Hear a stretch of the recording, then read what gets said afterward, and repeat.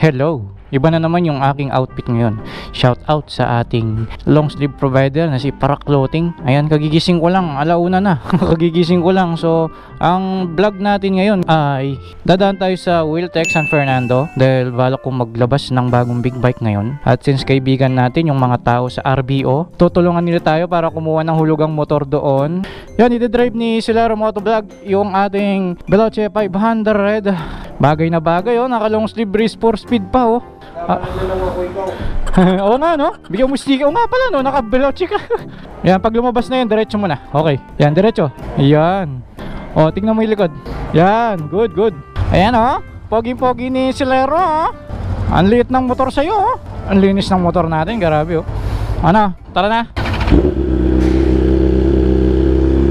Oh, we'll take tayo guys. Ang galing ko lang tong Chinese. Ayan, yan, yan, yan. Pinuhulaan ko lang kung pipindutin ko eh para mawala yun eh. Okay, punta tayo sa Wiltech. So, pinaka paborito kong pinupuntahan ng tindahan ng big bike is itong ang Wiltech San Fernando dahil napakalapit lamang po niya. At isa pa, subscriber natin si Brother Luis at yung manager ng Wiltech. Kaya hindi tayo iba sa kanila at uh, based na rin sa kanila eh kilala daw tayo ng may-ari ng mismong Wiltech. Pero pero hindi close guys. Kilala lang kumbaga parang narinig lang ganun. Hindi ko pa rin siya namimit hanggang ngayon. At tapos yung RBO office na kung saan doon nagtatrabaho si Brother Luis. Yung RBO po ang in charge sa mga kumukuha ng hulugang motor. Eh swerte tayo. Dahil ako naman dito eh hindi ko kaya mag cash ng ganong kamahal na motor. At amin napupusuan na nga pala akong motor ngayon. Yun ay ang Kawasaki ZH2 wow yun yung napupusuan ko kasi uh, ngayong year 2021 yun lang ang pinaka mamaw pagdating sa mga naked bikes no? Eh wala pa namang lumabas. Itong buwan na to na November. Ayan, November ko kasi binlog to. Year 2021 hindi ko pa alam kung may bagong lalabas na Z1000 no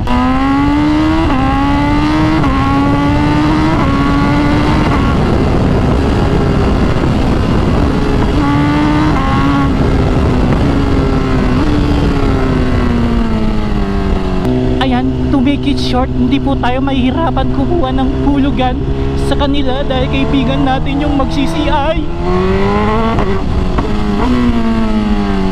Ah, natatanggal yung tutuloy ko sa tenga dito sa motor na to, sobrang ingay.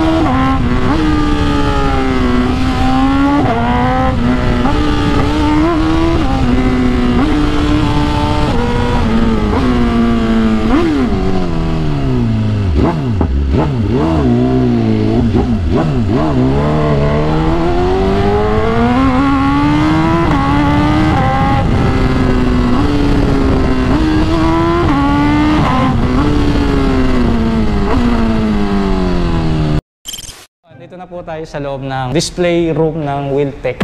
At ito, nakikita ko na yung isang ZH2. At meron daw naka-crates pa na ZH2. Pero itong isa, dinisplay na nila. Ayan. Matagal dito yung process ng papers kasi lalo na tayo ngayon eh, hulugan. For approval siya.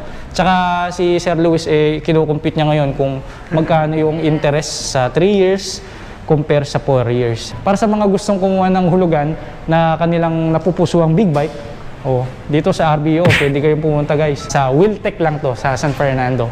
Pinakuha ko yung pera sa bahay and then yung passbook, kailangan daw pala yun. Tapos pagka na-approve sa RBO, yung pinaka-boss nila, eh mari-release natin yung ZH2 ngayon. Pero hindi ito yung kukunin natin. Mag-unbox tayo ng ZH2, right? Okay, so lumabas na yung ating release voucher. So pagka lumabas na yung release voucher, ibig sabihin, Aprobado. Approve na. Approve na. Approve na. So, pipirma na lang tayo guys. So, may nakasulat na RBO Group Financing Corporation Ayan, sila yung nag-process ng ating papeles para makakuha tayo ng hulugan. Sa mga gustong kumuha ng hulugan ng motor, ayan, hanapin nyo lang po si Sir. Siya po yung mag-assist sa inyo. At syempre, yung manager ng Wiltec, Sir, anong pangalan nila? Joel, sir. So ayan, so si Sir Joel. Hanapin nyo lang sila, sila na mag-assist sa inyo at ah, napakabilis, wala mang isang oras, release ang ating motor. Basta, merong stock. Yun, so okay na.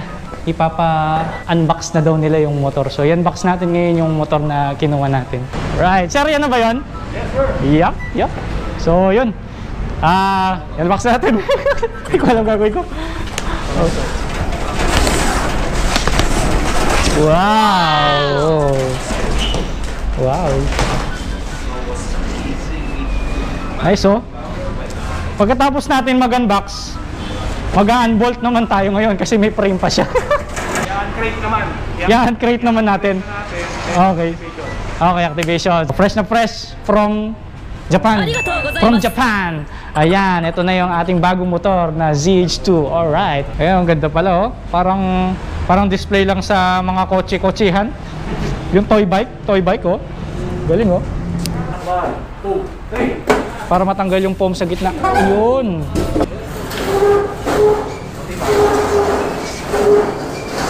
Yan na, lalabas na. Okay, papasok na nila sa showroom. Sana all. Dito, woo, pasok na. Ganda, laki ng motor na to sa personal talaga. Lapad ng gulong. Ang laki ng tambucho. Lahat dito bago, sabi ko. Rider na lang yung luma. Yan o, for activation na oh. Unang himas. Munang himas. Sa model na 2022, meron silang ganito. Ito ay para doon sa double plaka nga na pinatupad sa Pilipinas. So ito na yun. Dito mo i-mount yung plate number mo. Pero ewan ko lang kung matutuloy yung batas na yun. Pero at least ito, naka-ready na yung ating ZH2 para sa plate number. Kaya tayo sa taas at pagbabayad na tayo na ng ZH2, bayaran na natin yung ating down payment. So ito yung second floor. Medyo gagabi na tayo. Uh, bayad tayo. Bilang nila. Ayan, oh, i-activate na nila. Oh. Alright. Meron tayong subscriber dito. Sir, anong pangalan niyo, sir? Greg. Sir Greg, kayo ma'am? Winnie po. Ma'am Winnie. oh. Yun, thank you, thank you, thank you. Bigyan ko kayo sticker, wait, wait. Sir, ah, thank you, thank you. Thank you po, thank you. Lagayan ng plate number. Ah, meron pa siyang plate na ganyan, no? Pangarap pa hindi yan siguro. Eh, Dito daw yan eh, yan, oh. oh Tapos lilipad yung... merong, merong nagpapa-shoutout, nandito tayo sa Kawasaki. Yung nagpapa-shoutout, nasa Yamaha, oh. ano po pangalan nyo, ah? Sharina Rose Flores. Ah, okay. Shout out. Hello. Oh, shout out daw kay Ma'am Sharina Flores ng Marela JC. tsaka Marela Joy Sikat from ah, Yamaha. Anong Yamaha? Yamaha in. Yamaha. Hain Nueva Ecija. Ha, Haen. Sa Haen, Nueva Ecija. Hello po. Salamat po. Ito po sila. O, ayan. oh. Hello. Right. Thank you po. Thank you. Uy. Racing tune agad. Oh, sir, pwedeng ipa-ECU flash ka agad dyan? Hindi pwede. Uy, naisusi niya, oh. Uy, naisusi niya, oh. First on. Uy. Uy, unang on. Wow. Pwede palang palitan yung display natin, guys, oh. Oh, ang galing, oh. First gas diesel. First gas diesel. Para mura, no? Para balik ka agad sa casa. Pwede ng pander rin yan, sir. Yun, no? Yun, oh. Ako, per start. Pwede na per start. Ako na lang. Pwede na. Ano. Sir, nanginginig ako, sir. Okay na? Pwede na? Woo! Woo! Woo!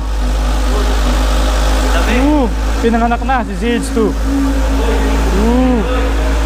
Woo! Yes! Ang bango. Brand new eh, no? Ang bango nga niya, no? Ano ba mag-convert mo ba? De, de, de. Hawak ko na yung susi susi ng Wiltec. Maraming salamat Wiltec San Fernando at saka sa RBO. Ayan.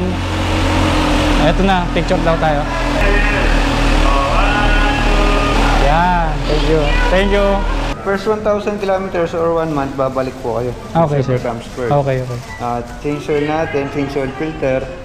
Ah, pre-service siya, yung oil, yun ang may bayad sir. Tsaka- Oh, dito na yan. no? Opo, dito na. Okay. yan, sir. Sa ano naman, sa pagpapatakbo for from 0 to hindi naman ano yun. Wala naman sir. Ah, pwede nang atawin agad. Oo, nakinarinig yun guys ha. Yan, labas na natin si Kawasaki ZH2 guys. Ayan o. Right, labas na tayo.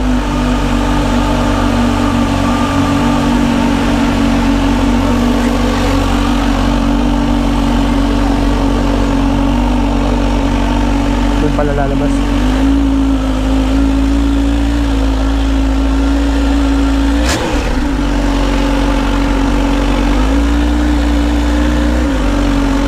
Okay. Okay, alright. Thank you. Sir, thank you ah. Thank you. Alright, tayo ay magpapagas naman ngayon, ano. Adjust natin yung clutch. Pagas tayo sa Enoch. Ito, unang karga natin. Alright. Nararamdaman ko, parang ang gaan ng motor na to kasi yung manibela niya walang steering damper eh. Pero sa sa tangke, sa part nito, nararamdaman ko mabigat. Dagdag mo pa yung kanyang stock pipe. Uy! lakas sa sipa niya. Ang lakas sa sipa. Ay, ang ganda ng quick shift nito. Ang tahimik. Parang electric bike. Uy! Uy! Ang sarap. Firm sa pakiramdam nito, no? lalo na sa puwet. Ang firm niya, oh, pati sa tangke. Ah, ang lapad, oh. Tsaka ang ganda niya sa camera, oh. Ang tahimik niya. Okay, nais ko magpasalamat sa Wiltech para sa smooth transaction, no? Kahit ginabi tayo. Eh at least na-release natin siya kaagad ngayon, ano?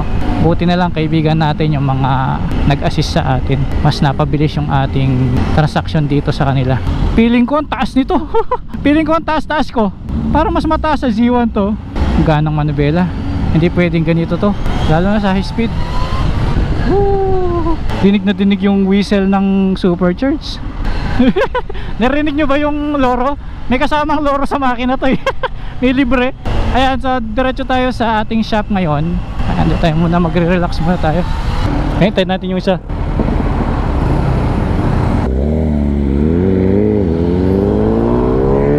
Ang stable niya sa kalsada. Alam na alam mo yung mabigat. Kapit na kapit yung gulong. Kaso sobrang lakas ng torque niya. Alam mo yung pag sumipa na yung kanyang bus, yung kanyang supercharged. Kaso dahil tahimik yung pipe natin, dinig na dinig yung whistle niya, no? Yun ang kakaiba sa motor na to, no? Hindi siya yung katulad ng regular na motor. Okay, maraming salamat po. Nandito na po tayo sa shop. Ayan, dito muna natin tatapusin ang ating vlog dahil ginabi na hindi ko may pakita ng buo sa inyo. So, sa susunod na vlog, ayan, araw natin iba-vlog ito, no? So, magpaalam muna tayo. Oh, say bye-bye muna. 1, 2, 3. Reinforce speed! Alright.